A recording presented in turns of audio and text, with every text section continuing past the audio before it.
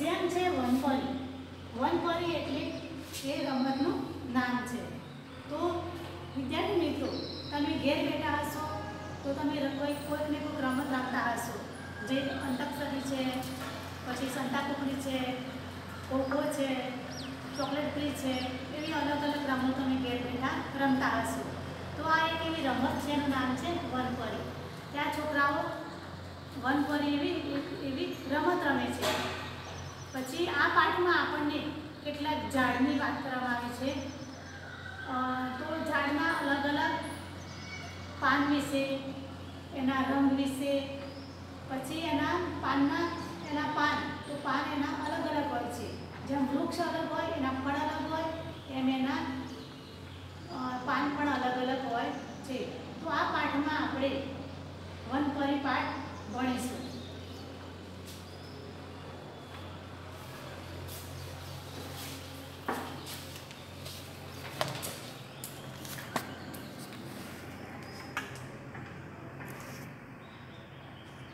અમે રહી, અમે રવિવારે બગીચામાં ગયા હતા.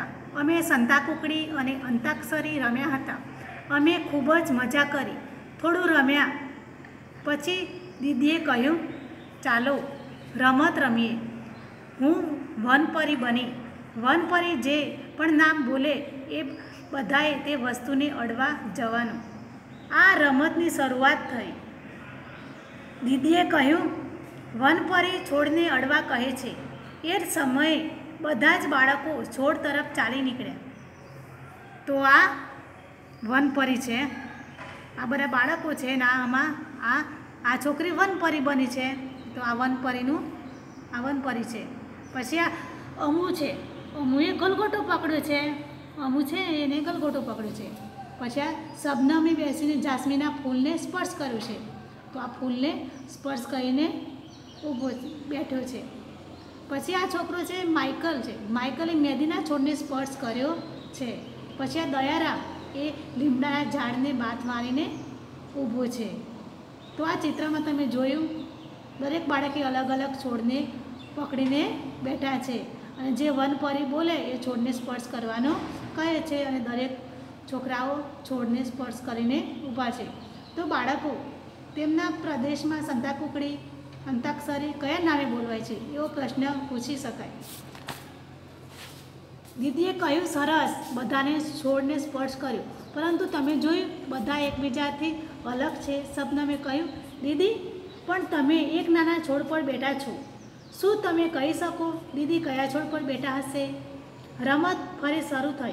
વન વનપરીએ હવે કહ્યું, એવા વૃક્ષને અડો, જેનું થડ જાડું કે પાતળું હોય. તો વનપરી કહે છે, ચલો આપણે રમતની શરૂઆત કરીએ.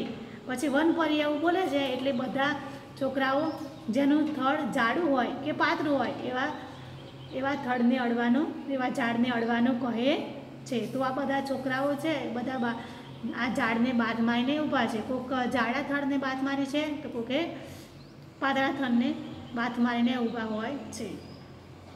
બાળકો ફરી ઝાડું અથવા પાતળું થડ હોય એવા વૃક્ષને અડવા દોડ્યા જે ચિત્રમાં બતાવ્યું છે, તો આ ચિત્રમાં તમને બતાવ્યું છે. છોકરાઓ બધા ઝાડને સ્પર્શ કરવા માટે દોડ્યા છે. તમે એવું કયું વૃક્ષ જોયું છે, જેનું થડ ઝાડું હોય? તો તમને ખબર હોય છે, વડનું હોય, પીપળાનું હોય, એવા બધા વૃક્ષનું થડ ઝાડું હોય છે. માઇકલને આ રમત ખૂબ જ રસપ્રદ લાગી. તેણે વિચાર્યું, વનપરી કેટલી નસીબદાર છે. બધાને આદેશ આપી શકી શકી શકે છે. માઇકલે કહ્યું, મારે વનપરી બનવું છે. બધા બાળકો મોઢેથી હસ્યા. છોકરો પરી બને. હવે બધા નવી વનપરી પાસેથી આદેશ લેવા તૈયાર તૈયાર હતા. માઇકલે કહ્યું, મને થોડો, મને થોડા પાંદડા લાવી આપો. દીદીએ કહ્યું, પરંતુ યાદ રાખજો, તમે પાંદડા વૃક્ષ પરથી તોડી શકશો નહીં. બાળકો નીચે જમીન પર પડેલા પાંદડા એકઠા કરવાનો કરવા દોડે.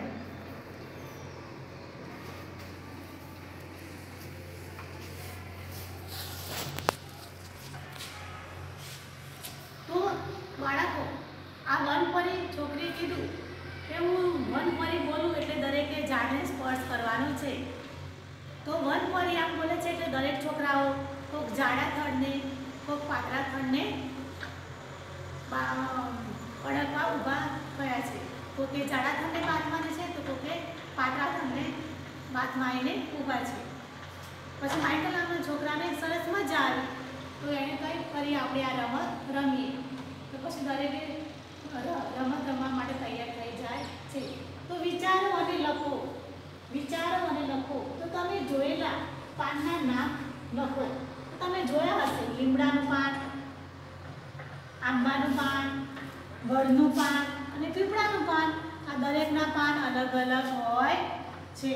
તો આ પાઠમાં આપણને પાંદડા વિશે વાત કરવામાં આવી છે. દરેકના પાંદડા તમે જોજો અને નિરીક્ષણ કરજો. પોતાના પાન અલગ અલગ હોય છે.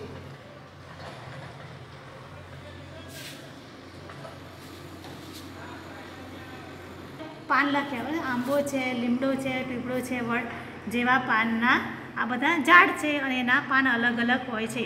આ રમત રમતા રમતા બાળકો વૃક્ષની વિવિધતા, તેઓને જાતે નિહાળવા બાળકો વારા પડતી વનદેવી બને છે અને સારું છે, જેથી તેઓ પોતાની જાતે વૃક્ષના વર્ગીકરણનો વર્ગીકરણનો આધાર પસંદ કરી શકે છે.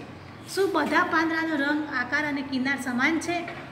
તો ના, બધાના રંગ, આકાર બધા અલગ અલગ હોય છે. જો આ પાનના, આ પાન બતાવે છે, દરેકના આકાર અલગ છે, રંગ અલગ છે બધું અલગ અલગ હોય છે. કોઈક લાંબા છે, કોઈ ટૂંકા છે, કોઈ ગોળ છે, એવા અલગ અલગ પ્રકારના તેના આકાર હોય છે. અને તેના રંગ પણ અલગ અલગ હોય છે હોય છે. કોઈક લીલો હોય છે, કોઈ લાલ હોય છે, કોઈ જાંબલી હોય છે, એવા પાન પણ અલગ અલગ હોય છે. દયારામે કહ્યું, હું આટલા બધા પ્રકારના પાંદડા વિશે જાણતો ન હતો. તો દયારામ નામનો છોકરો કહે છે કે, હું આટલા બધા પાંદડા વિશે કોઈ કશું જાણતો ન હતો. જો કેટલાક ગોળ, કેટલાક લાંબા અને કેટલાક ત્રિકોણ આકારના પાંદડા છે, તો કેટલાક ગોળ છે, કેટલાક લાંબા છે અને કેટલાક ત્રિકોણ આકારના પણ પાન છે. અમુએ કહ્યું, તેમના રંગ પણ અલગ છે, કેટલાક ઘેરા લીલા છે અને કેટલાક આછા લીલા છે, કેટલાક પીળા, લાલ અને જાંબલી પણ છે. એક પાંદડું એવું પણ છે જે લીલું છે, તેમાં સફેદ ડાઘ છે. તો તમે બાળકો જુઓ આ પાન છે. આમાં પાનમાં કયું પાન એવું છે? જેમાં સફેદ ડાઘ છે, તો તમારે શોધીને જોવાનું છે. કયા પાનમાં સફેદ ડાઘ છે? પાંદડાઓની કિનાર પણ અલગ છે. એના કિનાર પણ અલગ છે. કેટલાકની કિનાર સીધી છે અને કેટલાકની આડી અવડી છે. શબનમે કહ્યું, કેટલાક પાંદડાઓની કિનાર કરવત જેવી છે. અમુએ અને શબનમને શબનમે સાથે બૂમ પાડી. અમારે પણ વન પરે બનવું છે. દીદીએ કહ્યું, આજે નહીં, આવતા રવિવારે અત્યારે ઘરે જવાનો સમય થઈ ગયો છે. રસ્તામાં અમે અને દીદીએ કવિતા ગાઈ. તો બાળકો, આ રમત રમતા રમતા એમને ઘેર જવાનો સમય થઈ ગયો એટલે દીદી કહે, આજે નહીં, હવે આવતા રવિવારે આપણે રમ, નવી રમત રમીશું. અને આપણે કવિતા ગાતા ગાતા ઘેર જઈએ. વાંચો અને લખો. વાંચો અને લખો. તો બગીચામાં શું શું જોવા મળે છે? તો તમે બગીચામાં ગયા હશો, તો બગીચામાં તમે વૃક્ષ જોયા હશો, હિંચકા હશે, ફૂલ હશે, છોડ હશે, લપસણી હશે, એવું અલગ અલગ પ્રકારનું આપણને જોવા મળે છે અને બગીચામાં આપણને જવાનું ખૂબ મજા પડે છે. તો આપણો પાઠ આજે વિચારો અને લખો. તમારી નોટબુક નોટબુકમાં અથવા ચોપડીમાં નોટપોથીમાં લખી લો. આવતીકાલે આપણે આગળ ભણીશું. પાંદડા અને ફૂલના મનપસંદ રંગ, પાંદડા લીલા પીળા કવિતા આપણે કાલે ગાઈશું. તો વિદ્યાર્થી મિત્રો, આપણે ધોરણ ત્રણમાં વન પરિપાઠમાં આપણે કેટલાક ઝાડો ઝાડો વિશે વાત કરી. કેટલાક પાન વિશે વાત કરી તો દરેકના પાન પણ અલગ હોય છે. કેટલાકના રંગ અલગ હોય છે. કોક લીલા, લાલ, પીળા, વાદળી, જાંબલી એવા અલગ અલગ પ્રકારના વૃક્ષ પણ અલગ અલગ હોય છે.